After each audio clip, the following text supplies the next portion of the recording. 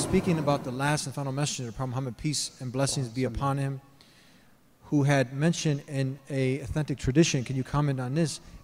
Because it goes with what we're talking about, the heart. He said there's a more so in the body uh, that if it's sound, the whole body will be sound. If it's corrupt, the whole body will be corrupt. Can you comment on this? Uh, and then he said that that morsel is the heart. The heart. The heart. Now, there is. Uh, I just wanted to the on the heart. Speaking of the heart and having a sound heart, uh, the Prophet mentioned a narration uh, in which he mentions there's a man who uh, lost his child, a young child, an infant. And uh, Allah, uh, he actually describes the conversation that takes place between Allah and the angels. Uh, and Allah obviously knows exactly what happened. But this conversation is described by the Prophet ﷺ so that we can learn something from it and take away a very important lesson. He describes that this, Allah, Allah subhanahu wa ta'ala says to the angels that you took the soul of the infant of my slave. The angels say, Yes, we did. That was what was commanded to us. He asked, Did you take away the apple of his eye? قَبَضْتُمْ ثَمَرَةَ فُؤَادِهِ The fruit of his heart is literal translation. The better translation would be the apple of his eye, the joy of his life. And they say, the angels say, Yes. فَمَاذَا قَالَ عَبْدِي What did my slave say when this tragedy happened? The angel said, حَمِدَكَ وَاسْتَرْجَعَ He praised you and he said, Inna lillahi wa inna ilayhi raji'un. We, to Allah we are, we belong to Allah and we will return to Allah. And then Allah subhanahu said, build a house in Jannah for this slave and call it the house of praise. The point is that this man, anonymous, not named in this narration, this could be anybody. This could be anybody in the crowd, anybody who's listening, anybody who suffered this incredible loss. This could be any of those people. This is a person who's demonstrating what it means to have a sound heart. That they have this connection with Allah subhanahu wa ta'ala, even in the most difficult time in their life when they've just lost their child. They're still able to remember Allah and not just remember Allah, thank Allah and remind themselves that we are in fact, uh, we belong to Allah and we will eventually return to Him. Those, uh, the, the, uh, those actions at the strike of the most difficult calamity, that shows uh, the true soundness of the heart. We're talking about having a sound, the Sound Heart at the Sound Heart Convention in Toronto, Canada. We'll be right back. Don't go anywhere. This is the Deen, this is the Deen Show. This is the Deen Show. This is the Deen Show. This is the Deen, this is the Deen Show. This is the Deen Show. This is the Deen Show. This is the Deen Show. And we're talking about the heart. I mean, right now we live in a generation where it's i this, i that, iPhone, iMac, all of these eyes, and we're charging these things. So how, how can someone charge the heart? If you now like they know, okay, I can plug this in and my iPhone get charged, but how do you charge the heart? Uh, I think one of the most significant aspects of connecting one's heart to Allah is uh, through the ritual aspects that are requested of us. And, you know, God asks us really simple things. You know, God has a right upon us. He's the one who has given us everything that we have. Uh, and He asks for us, you know, to pray five times a day.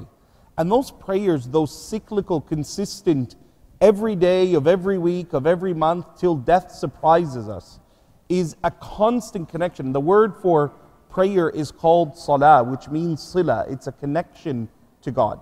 And, and, and that's a, you know, it's, it's a profound statement that we connect ourselves to Him constantly in prayer. Our prayer, it's not just simply saying, I need this and I want you to protect me from that. But it's more about praise. You know, you began by saying Allahu Akbar. Everyone said Allahu Akbar. Everything that is done well and significantly deserves an ovation. You know, uh, if a concert or a pianist does something great, people listen to it, they were enthralled. At the end of it, they all stand up and they, you know, it's like, wow, and they applaud, and it was in appreciation. And for us, that standing before God and the declaration of Allahu Akbar, nothing is greater for me than God. Nothing is of more benefit to me than God. No one can help me more than God. No problem is too great than Allah. All of that solidifies the heart. Like it makes your heart firm. And it gives you a surety and, and, and resilience in, in the tempest of the world and the difficulties that we experience. So I think that's the beginning point where we seek to reclaim our heart, that we lay it bare to the one who sees in it, subhanahu wa ta'ala. Uh, how, what kind of advice would you give for someone? He just mentioned to reclaim your heart. So someone has given their heart to materialism.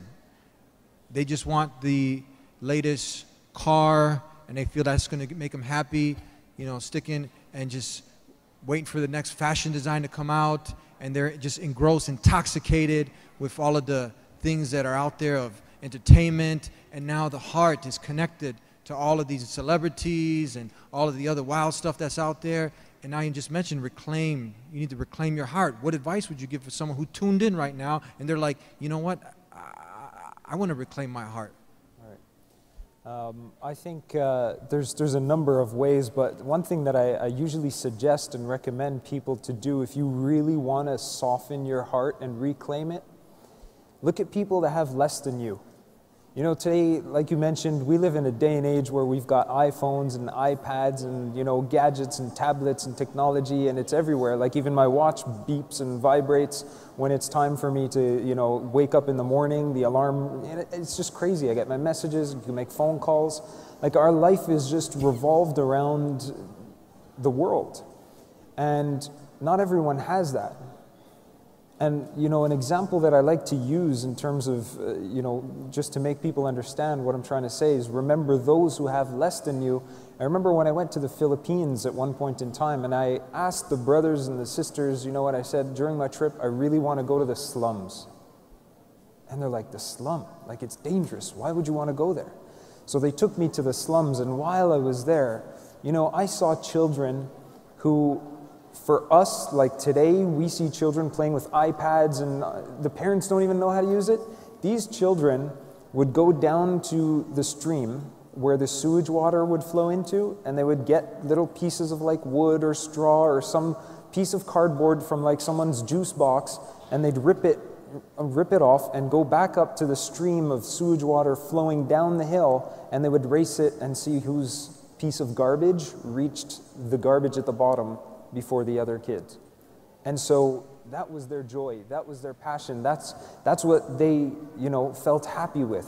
And to eat, they would go to the garbage cans, the dumpsters, and take out the bones from the fast food chicken that we finished eating. They would take it out, bring it home, chop it up again, respice it, fry it, and then add water to boil it into a soup. And that was their food, our leftovers that they took out of the garbage from a fast food restaurant. So there's people that don't have what we have. And to, I think sometimes we just need to literally go down to the slums of whatever city we're living in, or go to the, you know, whatever area has poor people, usually a downtown or a central, you know, area of the city where there's homeless people living, and give them from the best of what we have. So go to your closet, take out your Armani suit, your you know, Giorgio Armani's and your perfume bottles, and, you know, for sisters, get out some of your jewelry or whatever, or something that's useful for those people, so socks and clothing and nice, you know, down duvets and comforters that we sleep with, and go and give it to them. And feel what it feels like to give someone else what you enjoy, and see the smile on their face, your heart softens immediately. Great advice. How about for the person now? The brother's like, I left, you know, my, my, my heart with that honey at the club and she's like, you know what? I'm just thinking about committing suicide if I can't get this man. And she's living in fantasy land, and you have an opportunity now that they're listening. How can you get someone like this, from your experience, to reclaim their heart? So, uh, the. Um, what advice do you like well, to give? Yeah, so somebody who's literally heartbroken. uh, there's, you could say to them, look, it's not the end of the world, there's lots of people there, right? Uh, there's enough fish in the sea for all of us, uh, pardon the analogy. And uh, the second thing is that we remind ourselves that uh, Allah subhanahu wa ta'ala says in the Quran, مَا عِنْدَكُمْ يَنْفَدْ وَمَا عِنْدَ اللَّهِ بَاقٍ that whatever you have is going to end. And whatever Allah subhanahu wa ta'ala has is always going to last. It's always going to be there. So we aim for what Allah subhanahu wa ta'ala has. That's Jannah. We aim to get there. If we want everlasting love, we aim to get to Jannah, because that's where we'll get that love. If we want everlasting pleasure, we aim for that in Jannah, and then we will have it. So just that perspective that gives. Of course, we all want uh, pleasure and enjoyment in this dunya as well, but the perspective has to be there that whatever we have in this dunya is going to end. It's going to wither away. The shine will wear off. But whatever Allah subhanahu wa ta'ala has in Jannah, never will it, uh, never will the shine wear off. In fact, it will get even better and better. Just as an example, the people who go to Jannah, the Prophet ﷺ told us that a, a man will leave his house in Jannah, come back home, and he will say to his wife, You're more beautiful than when I left you. And she would say, No, you're more handsome when you left. Right? So your beauty increases day by day, and your love increases uh, moment by moment in Jannah. SubhanAllah, how beautiful is that? So we aim for that, and we keep that in our minds. For we're almost out of time. and Before we close it up, now for the not yet Muslims, because everyone has the potential to submit to God alone, to worship the Creator, not the creation, and they're tuning in. We're talking about God, we're talking about the heart, and people are realizing that okay, you know what, I can't get happiness in all of these material, superficial things, but now they're like, okay, I'll just go join this religion, that religion, all these religions out there. How do I know what you guys are talking about is the way of life that's definitely from the creator with all these other different religions claiming that they're the way and the only way the right way how can i differentiate which one is truly the way from god Uh, ultimately, truth is always set apart from falsehood. And, uh, you know, as a person who was born into Islam, I, I, I see, uh, you know, I always ask myself, uh, would I come to Islam? Would I have walked over to Islam had I not known it uh, by the blessing of having been given it from birth? And, you know, subhanAllah, those who come into faith, uh, you know, Allah describes them in the Quran that Allah's opened their chest to the truth. And, you know, the verses in the Quran, which is always the first step to faith. Uh, for me, um, I always recommend to people to read the Quran. Read it on your own. Don't, don't, don't seek higher interpretation. Just read. And I, I do recommend, you know, the Oxford University uh, press edition, Dr. Uh, Haleem's translation of the Quran. It's very accessible to an English market, to an English uh, uh, reader. It's very clear, it's very polished, and there's no added commentary. There's no uh, added values that are added to it. So just read what the man interpreted God's word as being. And you know, I, I, I just want to share with you like a, an experience of one of uh, you know a uh, one of my friends from high school, and he was uh, over over at my house when we were young, and you know I'd never you know shared the Quran with him or said read this or you know nothing like that, and I walked out of the room, came back, and he was crying, and he was standing near my desk, and he said, I said, what's wrong with you? I thought something you know something happened. I go, what, what's wrong with you? And he goes, uh, you know, and he pointed to the Quran, he just tapped it like this. He said, This is the truth. And he goes, I want to be a Muslim. I said, Allahu Akbar, you know, why? He goes, Well, you know, I always wanted to read it, but I felt like I didn't want to ask you. So when you went out, I just turned it over and I read the first sentence. The first sentence I read, it's the truth. So I said, Well, what's this sentence? And I look in it, and it was from Surah An Nisa, where Allah subhanahu wa ta'ala says, إن الذين يأكلون أموال اليتامى ظلما إنما يأكلون في بطونهم نارا those who consume the wealth of the orphans unjustly, they are ingesting in themselves hellfire. Now, what I didn't know about my friend was that uh, he was an orphan child, and he was from one foster home to the next, and he was put in neglectful homes where the money that the state and the government paid towards their fam- to him was usurped by others. It was gone in the form of liquor and in the form of other things, and no one cared for him. And he, as a young child, grew up seeing that those who were paid to look after him failed him. And the first verse that he opened and looked at in the Quran moved his heart that he said, This is the truth. The one who did this to me, God is not unjust. My life is not something that was wasted. The tragedies I experienced, there will be recompense. And you know, the brother now, alhamdulillah, he's in Toronto, married with four children. You know, Muslim, mashallah. And, eh, you know, the, uh, so I say to, you know, uh, our, our brothers in humanity, our sisters in humanity, read the Quran. You have nothing to lose. Uh, begin from anywhere you like. If you're a Christian, you want to read about what we say about Jesus, open the 19th chapter. Read about Mary, uh, you know, the mother of Jesus. Read his story, his immaculate birth, you know, what we believe. If you want to know, you know, what are the things that we value, look at, look at how God describes, you know, heaven and hell in the final chapters of the Quran. Just read, read, read. And that's the first word of the Quran, iqra. The aim of it, just read. You have nothing to lose. Give us some closing comments, suggestions on the heart, or anything else. We in a tweet. In a what you what you can fit in a tweet. Where we got two minutes, so we want to get both of you in. So in a tweet, give them some advice, some encouragement. Take it away. You know what, Eddie? It's tough to do these tweets. You keep giving me tweets. Give him the tweet. Let him start with the tweet. Okay, I'll start with the tweet. Uh, I have a friend from uh, university. It's gonna be a little long. Two tweets. Okay. Uh, who inspired me to take Islam seriously? I was just a cultural Muslim, born in a Muslim family. He was a convert, and I saw him, and I was so inspired by his uh, practice of, practice of Islam. We used to, in, during exam time, skip prayer right? During the exam, if Dhuhr Salah came and went, we would be like, whatever. He said, how could you do that? Right? He said, I would start, he would, he would leave the exam, go outside and pray, and come back and then finish his exam. SubhanAllah. And that just, that action was so moving that all of us who were young and saw him were inspired. So I asked him, how did you convert to Islam? He said, I read Surah Yusuf, the translation, and I said, this has to be from God. It can't be from a human being.